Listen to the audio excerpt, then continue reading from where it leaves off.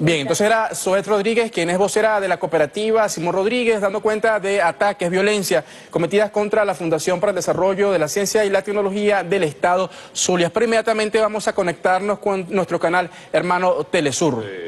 la delincuencia común o de la criminalidad, de la violencia criminal.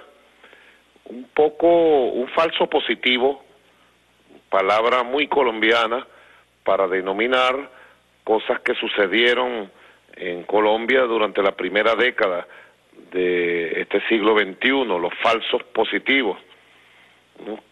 Muchos de estos crímenes, como el de Robert, fueron preparados de esa manera, inclusive ya este, en, en coordinación con medios de comunicación nacionales, internacionales, con periodistas, que comenzaron a escribir y a tratar de asesinar a las víctimas, en este caso como Robert Serra, nuestro joven mártir, asesinarlos moralmente y tratar de justificar como trataron de preparar con Robert mucho antes de su asesinato, este, tratar de preparar un desprestigio moral, una campaña que luego este, justificara su asesinato o lo presentara como producto de determinadas cosas, eh, como algunas periodistas han escrito eh, y continúan escribiendo, articulados directamente con los criminales, porque se trata de asesinar moralmente,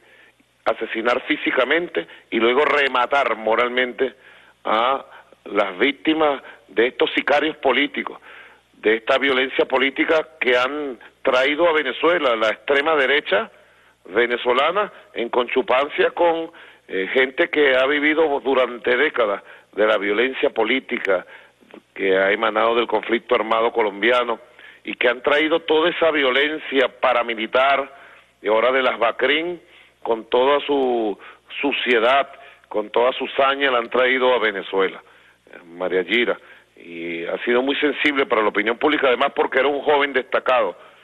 Yo te podría decir, era el joven más destacado del movimiento bolivariano aquí en Venezuela, del chavismo aquí en Venezuela.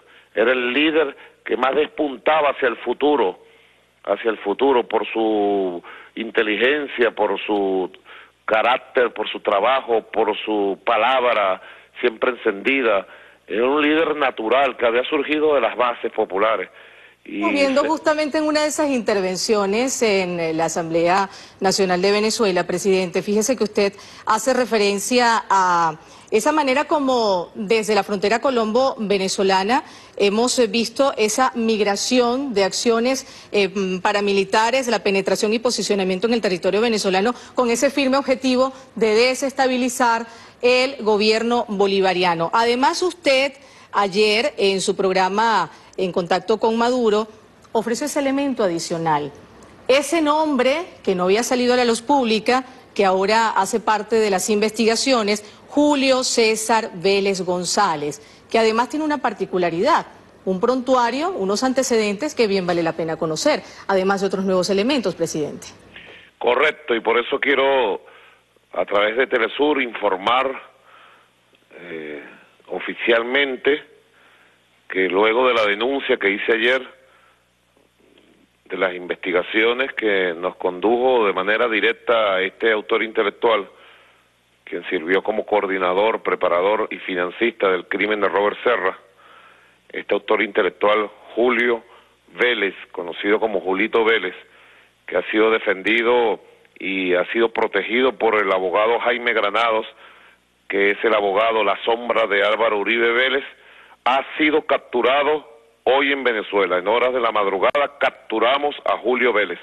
Ya está en manos de la justicia venezolana, tras las rejas. Quiero agradecer a todas las personas que colaboraron. Yo ayer hice un llamado a la comunidad colombiana que vive en Venezuela, hice un llamado y le di la orden a los órganos de autoridad policial, de autoridad militar, y en tiempo récord ha funcionado y ha sido capturado, ya está tras las rejas, fue capturado, bueno, ya el ministro del Interior mayor general González López dará detalles. Ha sido capturado y ya estamos además en las operaciones complementarias de búsqueda, allanamiento de un conjunto de, de cómplices que tenía y que con los cuales se movía aquí en Venezuela. Les puedo decir que tenía, eh, hemos descubierto y ya hemos llegado ya un lugar de operaciones en la propia Caracas, en el este de Caracas, en, un lugar que seguramente luego se conocerá, y desde allí eh, operaba. Hasta allí te puedo dar información porque está la investigación en pleno desarrollo. la captura de Julito Vélez, autor intelectual de este crimen y de otros crímenes y de otras acciones delincuenciales, ¿no? De esta de esta peste paramilitar que la ultraderecha venezolana ha traído para Venezuela. Son varios los cargos, presidente. Esta es la noticia de esta hora. Ha sido capturado en Venezuela Julio César Vélez González, el financista de la operación que conllevó al asesinato del joven diputado Robert Serra. Son otros cargos, usted bien lo decía. Eh, es parte de la información que en breve también estaremos muy pendientes de escuchar por parte de las autoridades, por parte del ministro de Interior, Justicia y Paz. En todo caso, lo que pueda adelantarnos, presidente, es este aporte, este juicio, esta acción judicial se va a llevar a cabo en Venezuela, en Colombia. ¿Qué tanto nos puede adelantar, por favor? Bueno, tiene cargos aquí en Venezuela, ya le tocará al Ministerio Público eh, llevar este caso y hacer los anuncios respectivos. Efectivamente, él tiene un código rojo por parte de la justicia colombiana pero ya eso estará en manos del Ministerio Público y de las autoridades judiciales de Venezuela. Nosotros hemos cumplido, quiero felicitar a los funcionarios que actuaron en las pesquisas y en la captura de este solicitado que todo apunta a ser el autor intelectual y bueno, la conexión directa con los asesinos de nuestro joven mártir, inolvidable joven mártir, Robert Serra. Yo llamo a todo el pueblo de Venezuela y llamo también a la gente honesta de Venezuela.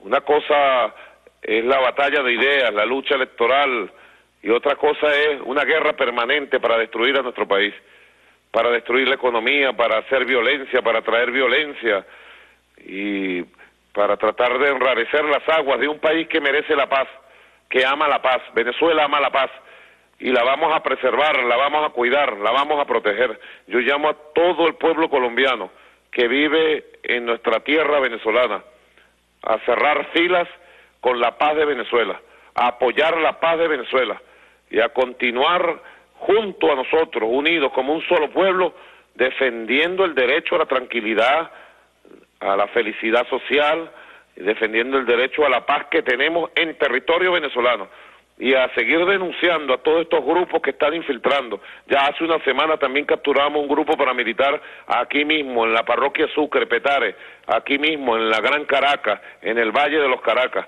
Y así vamos a continuar. Yo tengo un conjunto de anuncios que voy a hacer en los próximos días para incrementar la batalla por la seguridad y la paz de Venezuela. Y esto, bueno, ha sido un paso importante, sobre todo de justicia para la juventud. Mi mensaje a la juventud venezolana, no olvidemos a Robert Serra, mantengámoslo muy arriba de nuestro corazón y de nuestras enseñanzas diarias. Su muerte, que no sea en vano, su caída en manos de estos asesinos, que no sea en vano.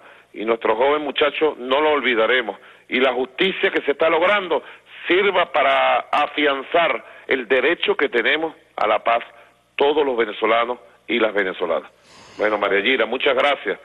Y allí, bueno, saludo a todo el equipo de Telesur y estaremos pendientes de nuevas informaciones que dará nuestro ministro Mayor General González López. Buenas tardes a todos. Muy buenas tardes para usted, eh, señor presidente. Muchísimas gracias por haber compartido con nosotros, con la teleaudiencia de América Latina y el mundo, esta tan importante información. El presidente venezolano.